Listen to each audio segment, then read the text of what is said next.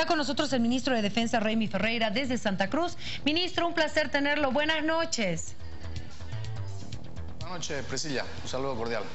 Ministro, por favor, ¿cuál es el impacto que tienen en los militares la sentencia que se ha conocido hace algunos días sobre el caso misiles chinos después de 12 años y las observaciones que hacía el presidente Evo Morales esta mañana? El problema es el precedente que se sienta. Si por robar unas botas a un militar le dan 5 o 4 años de cárcel, por llevarse misiles que cuestan cientos de miles de dólares, le dan tres años, que significa que no va a ir a la cárcel. Es, un enorme, eh, es una enorme agresión a la disciplina, a la moral y más que todo al concepto de soberanía y de defensa. No nos olvidemos que lo que ha ocurrido aquí es que se está liberando de culpa en los hechos, porque eso es, se lo está liberando de culpa aquellos que se sometieron a una potencia extranjera y que entregaron armamento militar de alta, de alta potencia, que además era parte de una transferencia tecnológica de una república amiga como la de China. Nos ha dejado en la indefensión, porque eran misiles que tenían un poder disuasivo importante, pero además de ello han de alguna u otra forma generado un malestar en la cooperación internacional que teníamos de China. Lo grave es que hoy la soberanía, eh, de acuerdo a esta sentencia, no tiene eh, reserva, o protección jurídica. Porque por, eso es lo que ha ocurrido en realidad. Se ha pisoteado, ¿no? se ha puesto la cúpula militar al servicio de una potencia extranjera y ha entregado armamento de alto, de alto valor, de, de, alto, de alto contenido y de alta potencia defensiva. Es lamentable lo que ha ocurrido.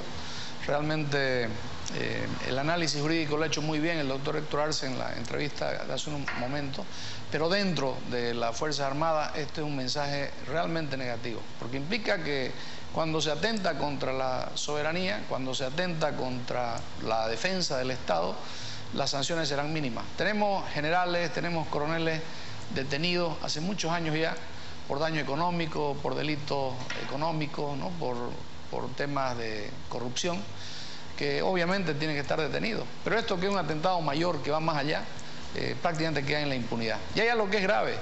Al ser una sentencia irrevisable porque no hay un tribunal superior, entonces no hay a quien apelar y no se puede iniciar una acción por otra vía porque rige el principio nos y es decir, nadie puede ser sentenciado o procesado por un delito dos veces.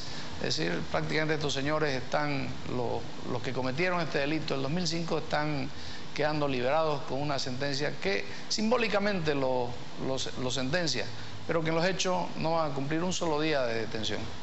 Ministro, usted hacía referencia a malestar en la cooperación de China. China estaba haciendo un seguimiento especial a este juicio de responsabilidades y si usted se ha reunido o tiene alguna repercusión sobre eh, esta sentencia con este país hermano, como usted lo ha llamado. No, China no, China es muy respetuoso. China es un país que no interfiere en los asuntos internos. China la cooperación militar que la da la hace sin condiciones, sin ningún tipo de cuestionamiento a nuestra soberanía. Pero claro, eh, no es en el proceso ese de cooperación, eh, cuando uno ha pedido eh, material parecido, queda este antecedente, un antecedente que no es fácil superar, porque imagínese que un país le entrega a usted mm, equipo militar de alta tecnología y que el que recibe ese equipo militar se lo entregue a una potencia, ¿no? a Estados Unidos, que no es precisamente una potencia amigable con los países del tercer mundo, es una amenaza mundial. Eh, pónganse en lugar de ellos. Repito, ellos son muy diplomáticos, ellos son muy respetuosos, no han hecho ni han opinado, usted ve, pero claro, uno lo, lo ve, ¿no? Uno lo siente cierta reserva, ¿no? No digo molestia, pero por lo menos cierta precaución por lo que acaba de ocurrir. No fue correcto de ninguna forma. Pero principalmente, como lo decía el doctor Héctor Arce, no fue correcto con la soberanía del Estado lo que se hizo en el 2005. No fue correcto con la seguridad del Estado. Nos han dejado en indefensión, eh, esas decenas de misiles cumplían una función disuasiva en una frontera de nuestro país y fueron desmantelados vergonzosamente, sin nada, eh, sin ningún tipo de argumento, ¿no? sometiendo nuestra voluntad de Estado soberano a una potencia extranjera.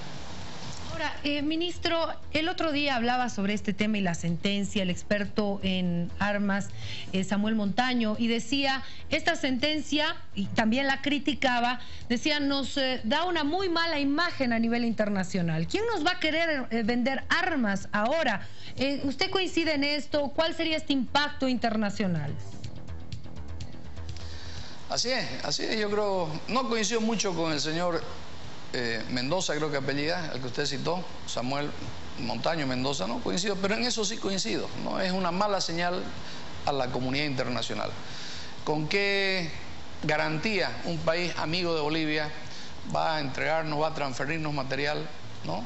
ya sea vendiéndonoslo o dándonos como cooperación, si no hay seguridad que el que lo entregue a otra potencia no va a tener sanción, como ha ocurrido en este caso, porque en realidad hay que decirle la verdad, han quedado impunes sentenciado simbólicamente por tres años, luego de 12 años de un trabajo esforzado, metódico, para demostrar algo que era muy claro. Aquí no hay mucho donde perderse. Fue muy claro que estos señores entregaron material que teníamos, que teníamos misiles, lo entregaron a funcionarios norteamericanos, lo desactivaron y se lo llevaron. Eso es, no hay mucho que probar. Yo creo que el problema con el tribunal no es tanto la valoración de los hechos, sino es lo que significan, ¿no? cuál es la consecuencia y la peligrosidad contra el Estado boliviano de esos hechos. Han minimizado algo que es un gran atentado. Yo escuchaba también a las declaraciones del expresidente Carlos Mesa y él decía que sí, en mi gobierno nos pidieron y yo les dije que bueno, que nos den otros y se los damos a cambio. Bueno, eso tampoco es una respuesta adecuada. ¿Quién es finalmente Estados Unidos para obligarnos a nosotros a entregar misiles y nos den otros? de igual, o él decía, o de mayor calidad. Eso es una, también muestra menosprecio a nuestra soberanía. Un Estado soberano, y eso está en nuestra Constitución, y no solo en esta, en las anteriores, es un Estado que no admite presión de ningún tipo, que toma sus decisiones y que el poder lo ejerce en su territorio de forma ilimitada. El prestarse siquiera a hablar de eso, eh, de intercambio de misiles, y peor si es gratuito, es inadmisible en un concepto de soberanía que está constitucionalmente establecido. ¿Quién se beneficia con esta sentencia? Eh, por lo que usted nos dice, eh, los procesados y también Estados Unidos. Yo creo que Estados Unidos va a quedar contento porque se ratifica o se legitima la acción eh, contra nuestro país que se cometió en esa época. El presidente lo dijo ahora, pero hay declaraciones del año 2012 del general Antesana que decía que por qué se había tomado decisión, porque había el peligro de que el nuevo gobierno que iba a encabezar el MAS y el presidente Morales podía hacer mal uso de esas armas, un poco que calificaba de terrorista, de extremista al nuevo gobierno. Entonces, esa era la justificación. Están los recortes, no se han perdido, sería cuestión de, volverlos a, mirar para ver esa argumentación. Obviamente una argumentación que no tiene ningún sentido, que no es más que, una, un disimulo a la entrega, ¿no? al entreguismo. Repito, quien pierde acá es el Estado boliviano, lo decía también el doctor Héctor Arce, la dignidad, eh, nuestra soberanía. Quienes ganan, primero los que quedan impunes, que deben estar festejando en este momento. Segundo, ganan aquellos adversarios y enemigos de Bolivia, vecinos o no vecinos, que no ven con buenos ojos que nuestro país se fortalezca, se potencie y asuma una posición soberana. Y por supuesto, van a ganar aquellos que han sacado seguramente algún beneficio de esta decisión. ¿Cuál es el sentimiento que hay en las Fuerzas Armadas a raíz de esta sentencia? ¿Usted eh, ha conversado con los militares sobre esto? Claro que sí, hemos comentado, ¿no? Así, no es una reunión formal, porque no ha habido todavía, seguramente lo haremos en la reunión eh, formal con el presidente del alto mando, pero claro, hay, molestia, ¿no? hay disconformidad. Porque no puede ser, repito, que porque alguien robe un par de botas, un saco de harina, esté 10 años preso, y alguien que entrega misiles que cuestan miles de dólares a una potencia extranjera quede libre. ¿no? Eso, ese tipo de injusticia no, no, es, no es bien vista por nadie. Estoy seguro que si usted hace una encuesta en la sociedad, la gente le va a decir lo mismo. Pero no es solamente la asimetría, es el sentimiento de que nuestra soberanía ha sido mellada. Y esa acción contra nuestra soberanía ha quedado impune. Ese es el sentimiento que queda. Ahora, eh, ministro, esta sentencia hace jurisprudencia también. O sea, no solamente es lo que va a pasar con esta sentencia en este momento y en este caso, sino podría ser utilizada para otros casos. Exactamente. Repito, no hay ya posibilidad porque no hay una apelación, al menos en las comisiones que hemos estado discutiendo ahora no, no se ve una posibilidad de otra alternativa de, apelar a esta decisión. Eh, pero no puede quedar este precedente, nefasto precedente, eh, sin que se investigue y, y, ojalá sin se sancione. Por eso es que se está viendo los mecanismos y el presidente lo instruyó ahora y lo estamos haciendo conjuntamente la Procuraduría, el Ministerio de Justicia, viendo los fundamentos legales para iniciar una acción de tipo judicial, que es la que corresponde ante la Asamblea Legislativa Plurinacional. No es nada personal, también lo coincido en eso, hay gente muy valiosa dentro del Tribunal de Justicia, ¿no? No sabemos cuál ha sido el rol de cada uno, eso seguramente en la investigación se lo verá.